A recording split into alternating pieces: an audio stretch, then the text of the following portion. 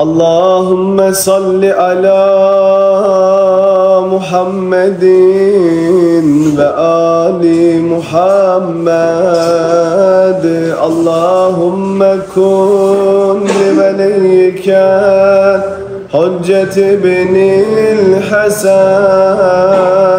صلواتك عليه وعلى آبائه في هذه الساعة وفي كل ساعة وليا وحافظا وقائدا وناصرا ودليلا وعينا حتى تسكنه أرزك توعا وتمتعه فيها طويلا. برحمتك يا أرحم الراحمين يا الله. Allah'ım İmam Zaman ağamızın zuhrunu acil eyle. Bizlere ağamızın layık yaver ve ensarlarından karar kıl. Ağamıza layık yaver ve ensarlar yetiştirmeyi bizlere nasip eyle. Ağamızın nazenin kalbini bizlerden hoşnut eyle. İmam Zaman ağamızın zuhrunun acil olması için bir âli selavat buyurun.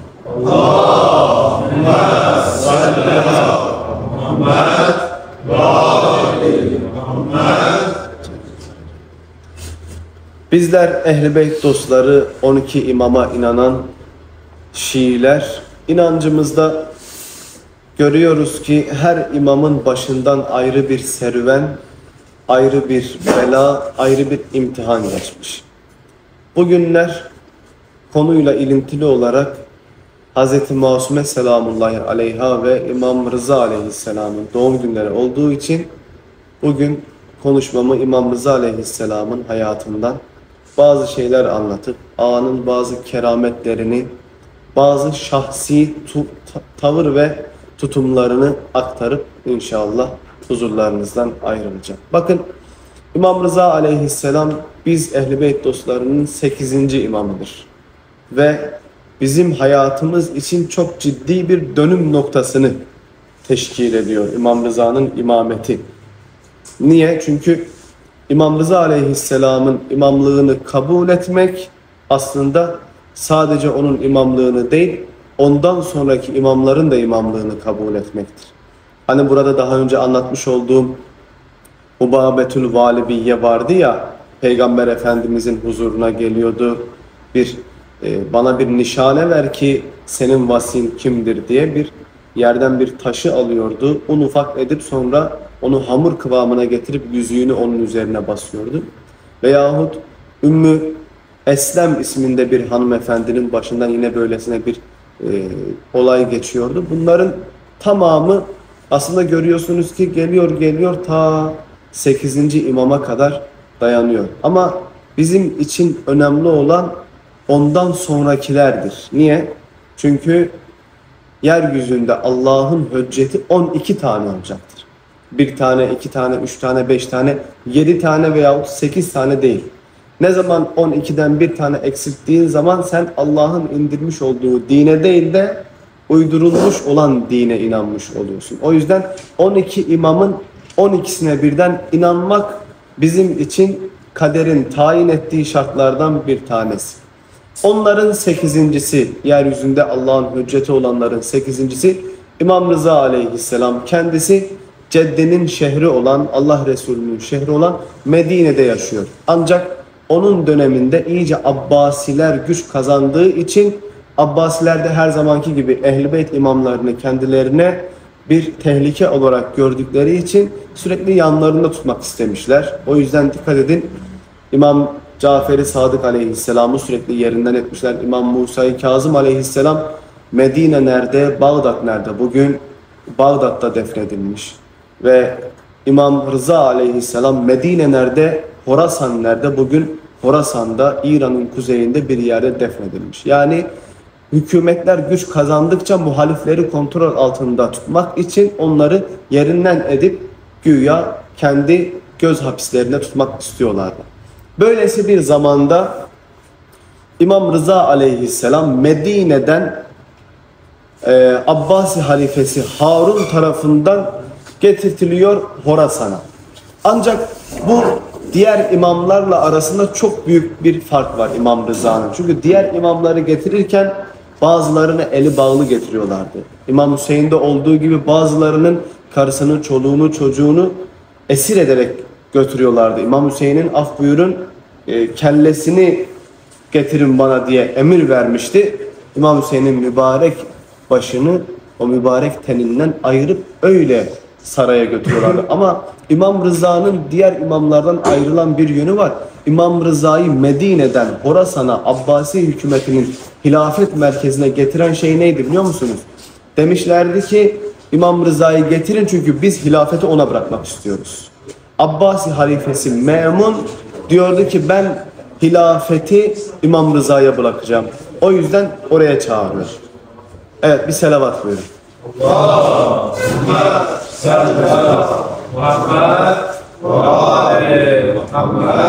Cin ferecehum.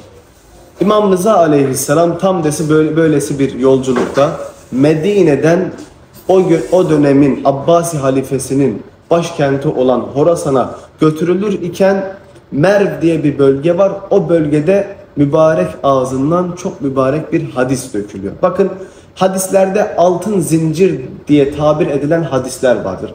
Altın zincir ne? Eğer bir zincirin bütün halkaları değerliyse ve altından ise ona dersin ki altın zincir değil mi? Yani arada hiç çürük elma yok. İmam Rıza aleyhisselam diyor ki ben babamdan rivayet ediyorum. O babasından yani başka bir imamdan. O babasından, o babasından, o İmam Hüseyin'den, İmam Hüseyin, İmam Ali'den, İmam Hasan'dan, İmam Hasan, İmam Ali'den, İmam Ali peygamberden, peygamber Cebrail'den, Cebrail şöyle dedi ki Allah böyle söyledi. Bak bu altın zincir hadisleri çok değerlidir. Ancak onların içerisinde bir tanesi direkt akla geliyor. Altın zincir dediğin zaman İmam Rıza aleyhisselamın halifelik ünvanıyla Abbasi e, başkentine doğru götürüldüğü esnada etrafını sarıyorlar Merv bölgesinde. Diyorlar ki ey Allah Resulü'nün evladı bize bir şeyler söyle. Seni görmüşüz o mübarek e, dudaklarından güzel bir kelam işitelim. İmam Rıza aleyhisselam devenin üzerinde yolculuk yapar iken perdeyi şöyle bir kaldırıyor, şu sözleri söylüyor. Ve gale Ebul Hasan Rıza aleyhisselam, İmam Rıza aleyhisselam diyor ki, Gale Resulullah, Allah Resulü şöyle söyledi.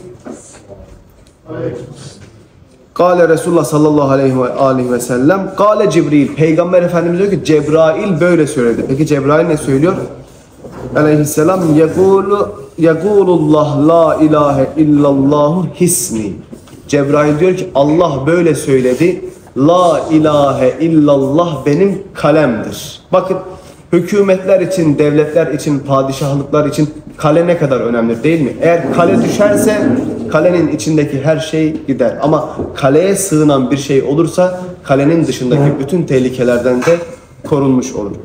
Allah Tebareke ve Teala diyor ki La ilahe illallah kelimesi benim kalemdir. Yani kim la ilahe illallah der ise Allah'ın azabından amanda olur. Ve devamında buyuruyor ki Femen dekale hisni emine min azabi. Kim benim kaleme sığınırsa la ilahe illallah der ise benim azabımdan amanda olur. İmam Rıza bunu devenin üzerinde perdeyi açmış onu dinleyenlere söylüyor. Bir yandan da deve gidiyor. İmam Rıza buraya kadar söylüyor. Ondan sonra devam ediyor. Az ilerledikten sonra İmam Rıza Aleyhisselam bu cümlenin sonuna bir şey daha ekliyor. Diyor ki Gale Rıza Aleyhisselam bi şurutiha ve ene min şurutiha. Diyor ki Allah dedi ki la ilahe illallah benim kalemdir. Benim kaleme kim sığınır ise benim azabımdan amanda olur. Ama şartı ve şurutu var. Ve ben de o la ilahe illallah'ın şartındanım. İmam Rıza Aleyhisselam'ın sözüdür. Yani kuru kuruya la ilahe illallah desen Allah'ın azabından kurtulamazsın. Gerek yanında İmam Rıza Aleyhisselam'ın da imametine kail olman gerekiyor. Bakın imamet inancında görüyorsunuz ki ehli sünnet Hanefisi, Şafisi, Hanbelisi Hristiyanı, Ermenisi, Ortodoksu, Yahudisi ne olursa olsun Sünnisi, Alevisi bütün dinlerden olan hatta Şii fırkalarının içerisindekiler İsmailisi, Zeydisi, bilmem neyi ne olursa olsun İmam Hüseyin Aleyhisselam'ın ziyaretine gidiyorlar. Doğru mu? Niye? Çünkü İmam Hüseyin Aleyhisselam'ı onlar da imam olarak kabul ediyorlar. Peki İmam Rıza'yı ziyarete gidiyorlar mı?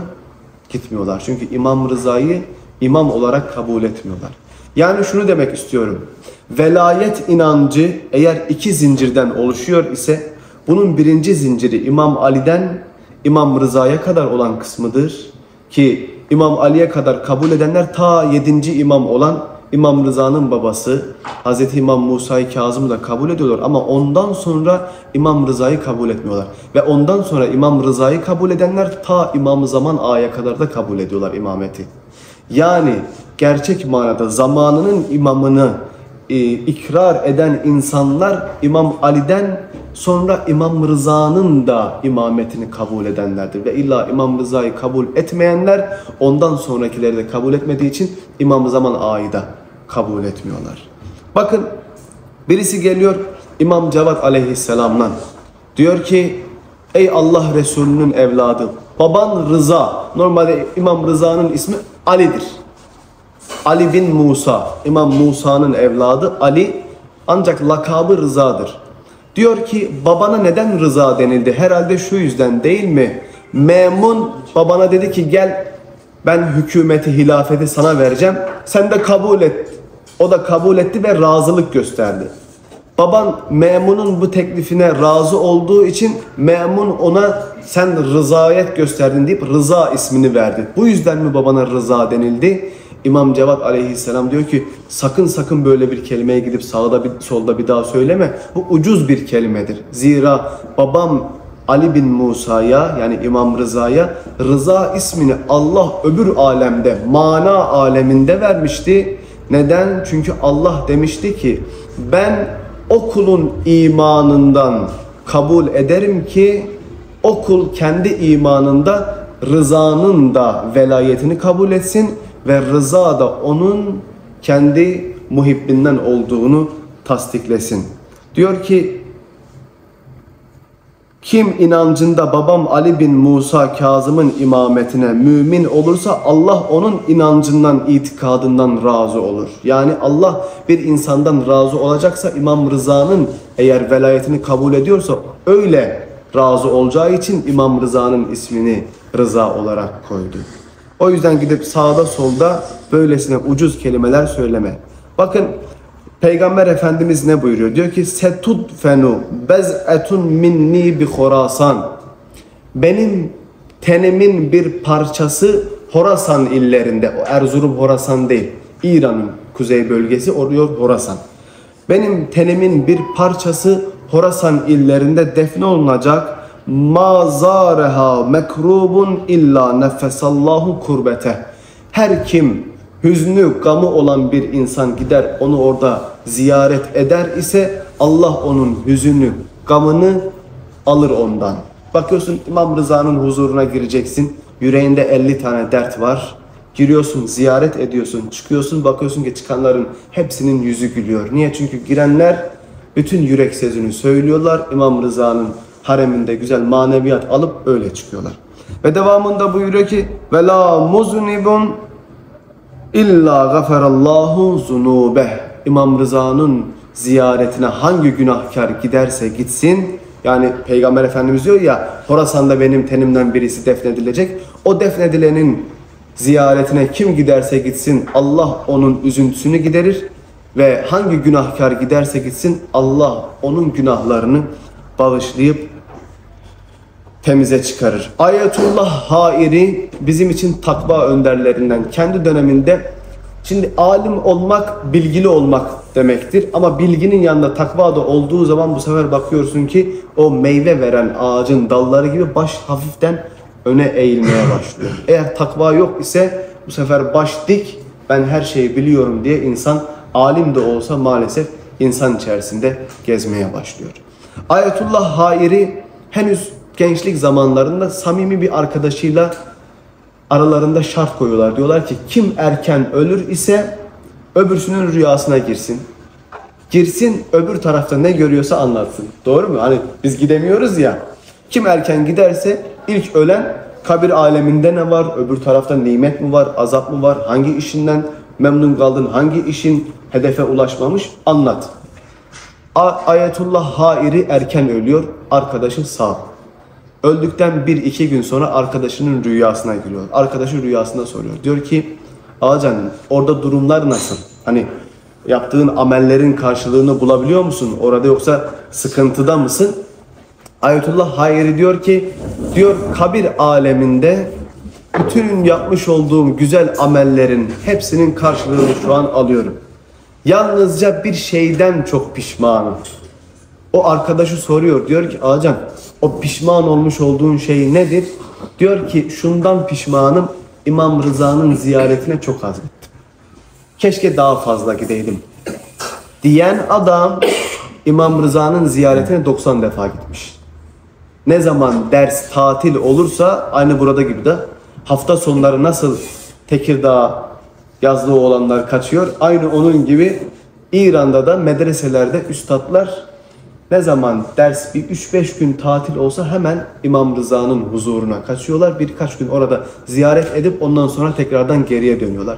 Bunu diyen adam 90 defa İmam Rıza'yı ziyarete giden bir insan diyor ki filani burada bütün amellerimin karşılığını aldım. Sevap içindeyim. Keyfim yerinde ama bir şeyden pişmanım. O da bu ki keşke İmam Rıza'nın ziyaretine daha çok gitseydim. Diyor ki neden? Diyor çünkü İmam Rıza'nın bir sözü var ya kim beni ziyarete gelir ise ben de kabirinde onu ziyaret edeceğim diye. İmam Rıza aleyhisselam öyle bir heybetle geldi ki karanlıklar içerisindeyken bir nurla geldi. Gelirken yanında cennetin kokusunu, cennet nimetlerinden nimetlerinden de getirdi ve bana şöyle söyledi ki ben senin bu dünyada beni ziyaret etmiş olduğun her bir ziyaretin karşılığında bir kez senin kabrinde senin başucuna gelip seni ziyaret edeceğim. Yani 90 defaya karşılık bir kez kabrine gelmeyeceğim. 90 defaya karşılık her bir defasına karşılık bir defada ben geleceğim. Senin kabrini seni yalnız bırakmayacağım bu kabrin karanlığında. Bak İmam Rıza aleyhisselam ne buyuruyor? Diyor ki inne li kulli imamin ehden fi unugi evliyaihi ve şietihi. Bütün imamların 12 imamlardan bahsediyor yani. Bütün imamların kendi dostları ve şialarının boynunda bir hakkı vardır. Ya İmam Rıza özünde nedir o hak? Ve buyuruyor ki ve in ve in min tamamil vefai bil ahdi ve husnul eda ziyareti kubur ziyarete kuburihim. Ve buyuruyor ki o hak nedir? O da şudur. Eğer Şia ehli beyt dostu imamına karşı ahde vefa etmek istiyor ise ben sana karşı vefalıyım ey imamım demek istiyorsa ve güzel bir şekilde ona karşılık imamına hani sevgisini göstermek istiyor ise gerek onların kabirlerini ziyaret etsin. Yani imamlara karşı onlara sevgi saygı göstermek onların kabirlerini ziyaret etmekle bugün bizler için açılmış olan bir kapıdır. İmam Cevat aleyhisselam İmam Rıza'nın evladı bizim dokuzuncu imamımız. Biri geliyor diyor ki ey Allah Resulü'nün evladı bütün imamları dolaştım. Hepsinin kabrini ziyaret ettim. Allah Resulüne gittim. Baki mezarlığına gittim. Kerbela'ya gittim. Necef'e gittim. İmam Rıza'ya gittim. Bağdat'a gittim. Kazımeyn'e gittim. Bütün imamların mezarlarını dolandım. Şimdi bir daha ziyarete gideceğim ama bilmiyorum ki baban Rıza'yı mı ziyaret edeyim yoksa gidip İmam Hüseyin Aleyhisselam'ı Kerbela'ya mı gideyim? Bizi eğer İmam Rıza ile Kerbela arasında bıraksalar ne deriz? Özellikle de Muharremlik ayıysa deriz ki Kerbela'da inşallah. Doğru mu? Hemen yapıştır gelsin Kerbela. İmam Cevat aleyhisselam ne diyor diyor biliyor musunuz? Diyor ki sen babam Rıza'yı ziyarete git. Çünkü babam Rıza'yı ancak havastan olanlar yani ancak seçkin insanlar ziyarete gider. Bakın bugün İmam Hüseyin'in kabrine gidiyorsun Ermenisi var. Hristiyanı var, Ortodoksu var, Yahudisi var, Sünnisi var, Alevisi var, Zeydisi var. Ama İmam Rıza'nın haremine gittiğin zaman sadece 12 imam şiası var. Sadece seçkin olanlar var. Ve İmam Rıza'yı tasdiklemek 12 imamın tamamını tasdiklemek olduğu için İmam Rıza'nın ziyaretinin e, faziletini saymakla bizler bitiremeyiz. Alimlerden İmam Rıza aleyhisselam kendisi buyuruyor. Diyor ki Allah benim türbemi Şiilerin gelip gideceği bir yer karar kılacak. Yani sürekli burası uğrak bir yer olacak. Bugün gördüğünüzde Ayetullah Reis'inin defnedileceği yer e, İmam Rıza'nın içerisine girecekler. Milyonlar giremiyorlar ki İmam Rıza'nın sadece günlük 3-4 bin tane orada hizmetlisi var. 3-4 bin tane hizmetli olan yerde günlük 300-400 bin tane de ziyaretçisi var demektir. İmam Rıza Aleyhisselam buyuruyor ki benim türbemi Şiilerin gelip gideceği bir yer karar kılacak Allah. Biri beni bu gurbette ziyaret ederse onu kabrinde ziyaret etmek bana vacip olur. Yani İmam Rıza lütuf değil de bir vacipmiş benim boynuma artık vacip gibisinden söylüyordu. Kim beni ziyaret ederse ben de kabrinde onu ziyaret edeceğim diye. Bakın Şeyh Saduk Tahran'da defnedilmiş. İnşallah gidince onu da ziyaret edeceğiz bizler. Allah onların da o güzel alimlerin de ziyaretini sizlere nasip eylesin. Şeyh Saduk'a birisi İmam Rıza aleyhisselam hakkında bir şair iki tane şiir gönderiyor. İmam Rıza'yı anlatan. Şimdi şairin elinden Muhammed Can o pencereyi kapatır mısın? Seydim o kapıyı da kapatalım da ses gelmesin. Eğer bir şair birine hediye veriyorsa şiir hediye ediyor doğru mu? Peki bir alim birisine hediye verirse ne hediye vermesi lazım? Alime bir şair İmam Rıza hakkında iki tane şiir hediye ediyor.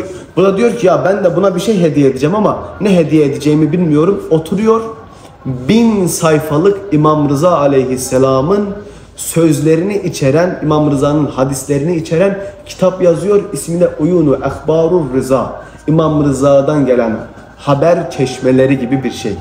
Anlatabiliyor muyum? Yani oradan oluk oluk ilim akıyor da yani. Oturuyor alim olduğu için bin sayfalık bir kitap yazıyor. Onu o şaire hediye olarak gönderiyor bu alim. Alimin ismi neydi? Şeyh Saduk. Orada birkaç bir şeyden bahsediyor. Ben onlardan birkaç tane hikaye, kısa, hikaye huzurlarınıza arz edip sohbeti bitireceğim. İmam Rıza aleyhisselam bildiğiniz üzere Me'mun'un sarayında, Abbasi sarayında güya Me'mun demişti ki ben ölürsem benim yerime Rıza geçecek. İmam Rıza geçecek. İnsanlar da buna mecbur kılmıştı. İmam Rıza sarayın içerisinde ancak güya saraydan bir hapishanedeydi. Bazen hizmetlisine diyordu ki hadi çıkalım gidelim biraz dışarıda gezelim, biraz gönlümüz ferahlasın.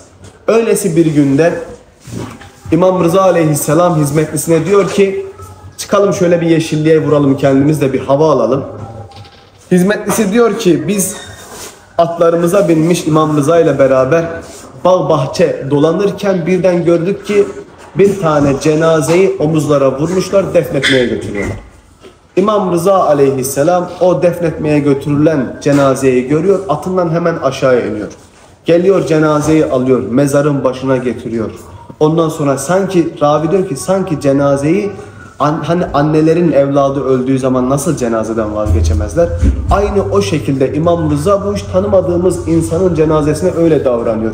Getiriyor mezarının başına bırakıyor orada dualar ediyor. E, elinden geldiğince mihriban davranıyor.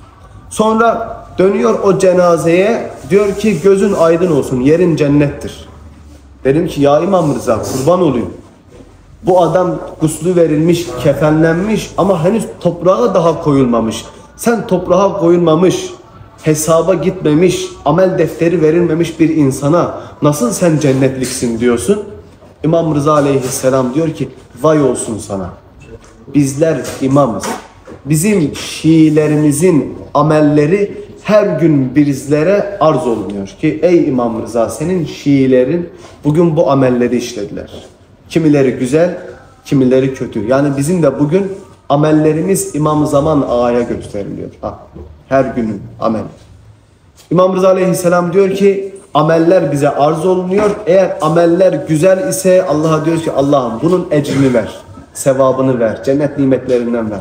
Ama eğer ameller kötü ise diyoruz ki Allah'ım bunun günahlarının üstünü ört gitsin. İşte İmam Rıza Aleyhisselam hiç görmediği, diğerlerine göre hiç görmediği, bilmediği insanların bile cenazesinin altına gelip omuz verip elleriyle kabrin içine koyuyor ve kendisi onları uğurluyor. İmam Rıza aleyhisselam çevre illerden ziyarete gelenleri kimisini geliyordu, kapıda karşılayıp bağrına basıyordu, kimisini de kapıda bekletiyordu. Bir gün uzak yerlerden gelen bir grup insan İmam Rıza Aleyhisselam'a dediler ki Acem kapının önündeyiz bizi içeriye al seni görmek istiyoruz. İmam Rıza Aleyhisselam hizmetlisine dedi ki onları kapıda tut.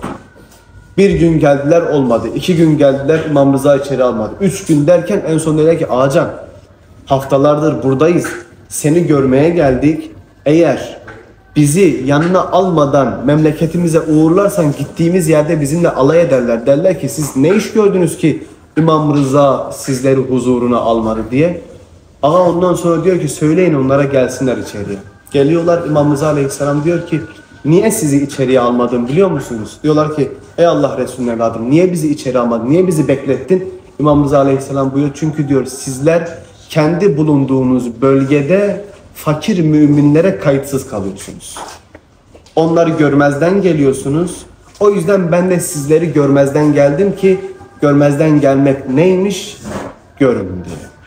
Yani bizlerin eğer imamet inancı var ise demek ki hatta birisi el uzattığı zaman görmezden gelip oradan geçmek gibi bizim bir şansımız yok.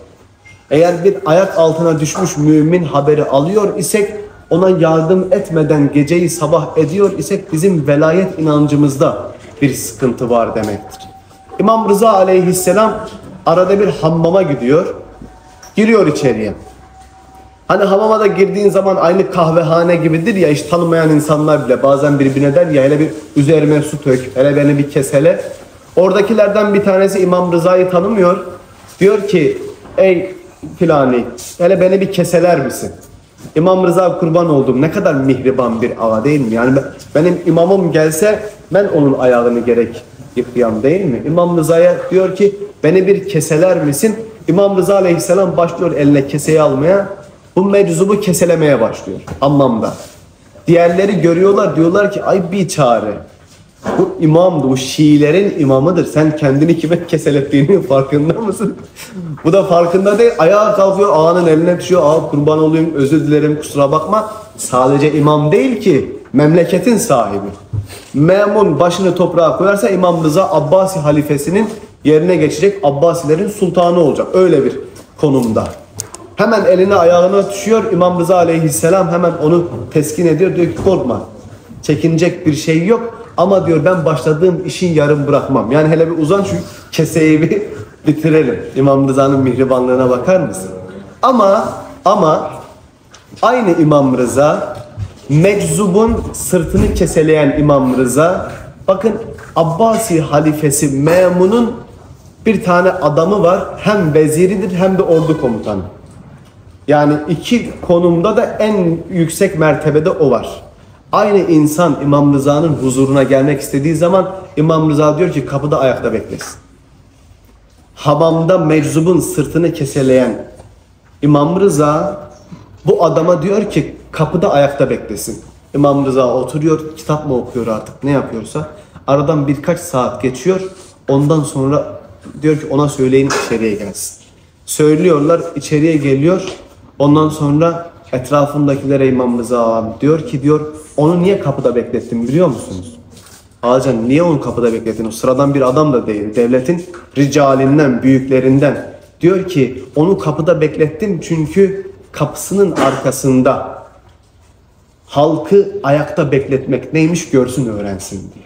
İşte İmam Rıza'nın adaleti de bu. Sen kapının arkasında milleti bekletmek neymiş? Hele bir benim kapımın arkasında bekle de öyle elleri pençe bir şekilde birkaç saat bekle de öyle gör. Ki bundan sonra kimseyi kapının arkasında bekletmeyesin diye. Bakın İmam Rıza aleyhisselam böylesine mübarek, böylesine güzel bir ağa, ziyareti bu kadar güzel ve bereketli.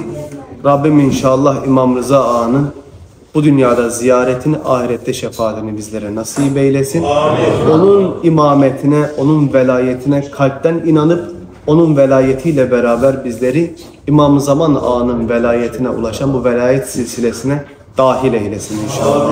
Muhammed al Muhammed'e selavat buyurun. Allahümme salli